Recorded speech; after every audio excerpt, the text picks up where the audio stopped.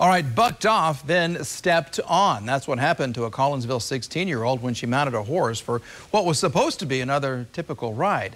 Mallory Thompson shared her story with 2 Works View Sierra Pizarro and says that she's very thankful she had her helmet on. Sierra. Bucked off wasn't enough. It then stepped on the side of her head, cracking the helmet. But for the most part, Mallory Thompson was kept safe.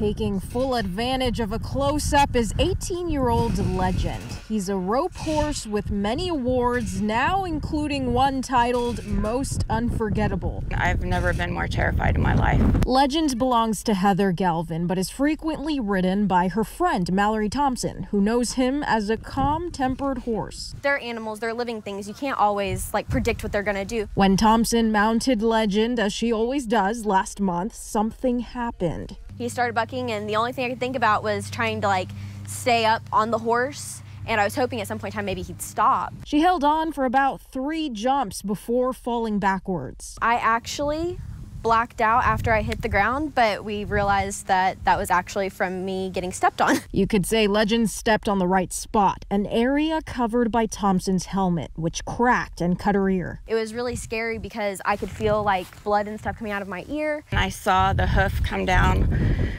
on the side of her face and I, I thought he stepped right in the middle of her face. Thompson spent one night in the hospital and was cleared, leaving with only a back injury. If I hadn't been wearing mine, the doctors and everybody told me that I wouldn't be here. Galvin and Thompson take the incident as another reminder that a helmet just might save your life. I'm definitely not riding ever without a helmet. Horse riding injuries typically affect girls between the ages of 10 and 14. That's according to the British Medical Association. Their study also shows with horseback riding, head injuries are the most frequently occurring and are the leading cause of death. Mallory Thompson says as soon as her back and ear heal, she's going to get right up back on there, right on the horse and legend. She's not afraid to get back on him either again. I'm Sierra Pizarro, 2 Works for you.